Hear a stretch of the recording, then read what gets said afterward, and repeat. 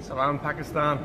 I've just arrived here in Dubai this morning. Uh, a couple of days of training and then we're, we're into it and off to Pakistan. So we'll see you soon on Monday and hope to see you all down the ground.